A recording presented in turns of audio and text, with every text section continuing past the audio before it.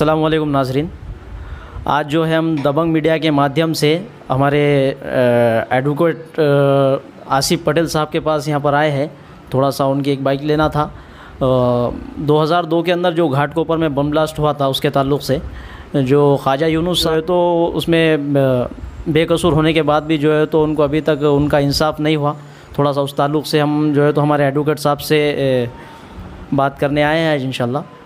तो थोड़ा सा मैं हमारे एडवोकेट साहब का आपको तारुफ़ करा दूँ कि ये जो है तो परभनी की जानी मानी शख्सियत डॉक एडवोकेट आसिफ पटेल साहब है और एक बहुत अच्छे सोशल वर्कर भी है और एक संगठन भी ये चलाते हैं हज़रत टीपू सुल्तान के नाम से। उसमें भी बहुत सारे रफ़ा रसानी के काम करते हैं, वो बहुत सारी चीज़ें करते रहते हैं, अलहमदिल्ला।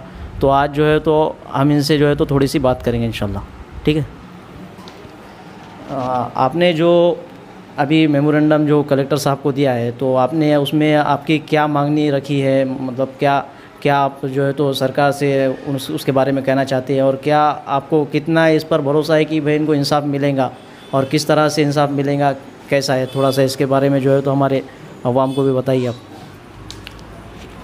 असलकुम हज़रत टीपू सुल्तान युवा मंच के माध्यम से मैं और हमारी पूरी टीम परभनी शहर और ज़िले में काम करते हैं। कल 10 जून हमने महाराष्ट्र के मुख्यमंत्री श्री उद्धव जी ठाकरे साहब और महाराष्ट्र के गृह मंत्री श्री अनिल देशमुख साहब को एक निवेदन के माध्यम से कुछ मांगने रखी है। उसमें 2002 का जो घाटकों पर मुंबई बम ब्लास्ट का जो घटना है, उसमें मरूम ख्वाजा यूनुस का जिस तरह से दर्दनाक मर्डर पुलिस कस्टडी में हुआ, उसके अंदर हमने बात रखी है। वो निवेदन में कुछ मुद्दे ऐसे हैं कि जो 2002 में बम ब्लास्ट हुआ था, जब ख्वाजा यूनिस दुबई से मुंबई के एयरपोर्ट पर जब आए तो उनको वहाँ की लोकल क्राइम ब्रांच ने मुंबई एयरपोर्ट से उठा के सीधा पुलिस कस्टडी में लेके चले गए और पुलिस कस्टडी में ऐसा मारे बेरहमी से कि उनका मर्डर कर दिए। बाद में जब सीआईडी की इंक्वायरी हुई, चौकसी हुई तो उसमें ये पता चला कि इनको पुलिस के द्वारा बेरहमी से मारने से इनका डेट हुआ है। तो इसके ऊपर आगे इन्वेस्टिगेशन होते हुए चौदह पुलिस कर्मचारी दोषित पाए गए। उस उस समय की तत्कालीन गवर्नमेंट ने चार पुलिस कर्मचारियों पर कार्रवाई करते हुए, जो कि चौदह पुलिस कर्मचारियों पर चार चार्जशीट होने के बावजूद भी तत्कालीन गवर्नमेंट में सिर्फ़ चार कर्मचारियों पर ही कार्रवाई करते हुए उनको सस्पेंड किया था। और और दो चार में उनके ऊपर कार्रवाई हुई थी। और आज ये तत्कालीन सरकार ने और जो भी मिली भगत से प्रशासन के, उन्हें वो लोगों को सस्पेंडेड कर्मचारियों को हर नौकरियाँ पे ले ले रहे हैं। ये कहीं ना कहीं मरूम ख्वाजा यूनुस के के साथ और उनके परिवार के साथ नाइंसाफ़ी है और ये कहीं ना कहीं उनके, कहीं ना कहीं मुस्लिम कौम के साथ भी नाइंसाफ़ी है। और ये हज़रत टीपू सुल्तान युवा मंच इसको हरगिज़ बर्दाश्त नहीं करेंगे। इसलिए हमने ये मेमोरेंडम दिए है।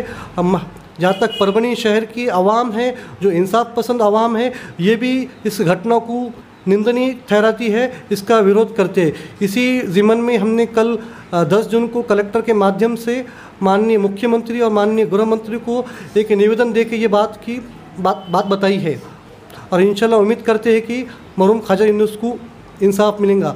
अगर महाराष्ट्र शासन और गृह मंत्री अगर ये बात, अगर वो चीज़ जो इन्हों अभी पोस्ट जो दे रहे हैं, उनको नौकरी पर रुजू कर रहे हैं, अगर उसके ऊपर फेर विचार नहीं करती है तो हम इन हज़रत टीपू सुल्तान युवा मंच के माध्यम से हमारा आंदोलन और तीव्र करेंगे।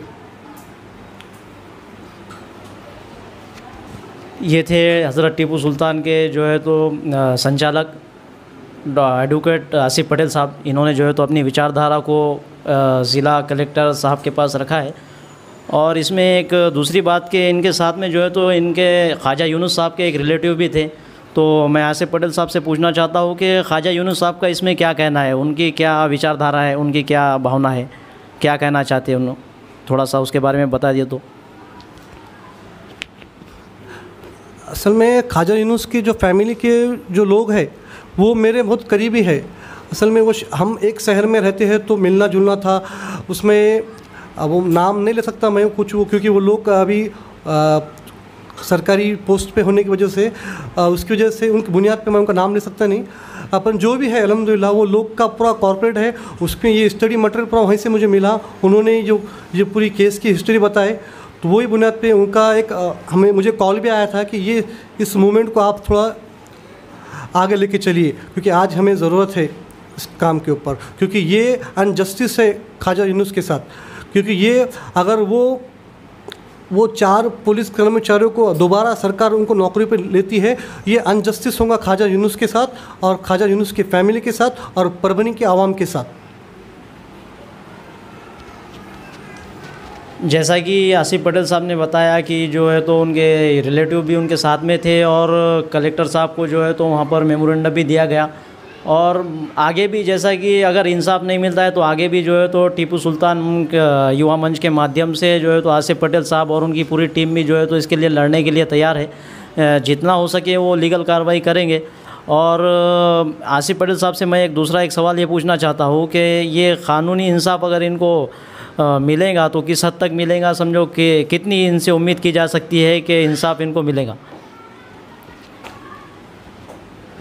ये पूरा पूरा स्टेट गवर्नमेंट पे जाता है। स्टेट गवर्नमेंट की ज़िम्मेदारी है कि ये इंसाफ मिले, क्योंकि अभी तक देखने में ये आया है कि ये प्रकरण में चार बार सरकारी वकील बदल, बदले जा चुके हैं और ये मैटर को अभी तक बहुत ठंडे बस्ते में रखा गया है। अगर ये इसको फास्ट ट्रैक में लेके जाए और एविडेंस और सबूत के आधार पे और सीआईडी की रिपोर्ट के आधार पे जो आरोपी पुलिस कर्मचारी उनके ऊपर 302 का प्रकरण चल रहा है और ये पूरे एविडेंस रूम के फेवर में है, उसकी वजह से अगर कोर्ट में अगर मैटर सही तरीके से चलता है तो उम्मीद है अलहमदिल्ला कि ये मैटर ख्वाजा यूनुस के फेवर में होगा।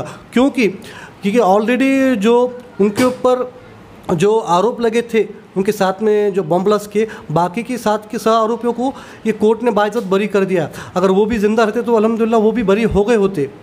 पर बस, बदकिस्मती ये है कि उनको पुलिस वालों ने मर्डर कर दिया है पुलिस कस्टडी में।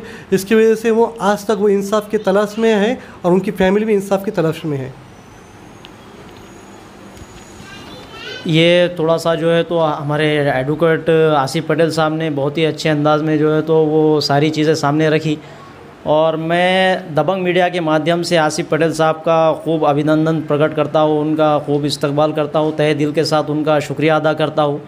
और इन आगे भी जो भी एक्टिविटीज़ होंगी आपके सामने जो है तो इन दबंग मीडिया के माध्यम से आप तक पहुँचाती, पहुँचाई जाएँगी। जनता की आवाज़ दबंग मीडिया के साथ, मैं मोहम्मद दस्तगीर।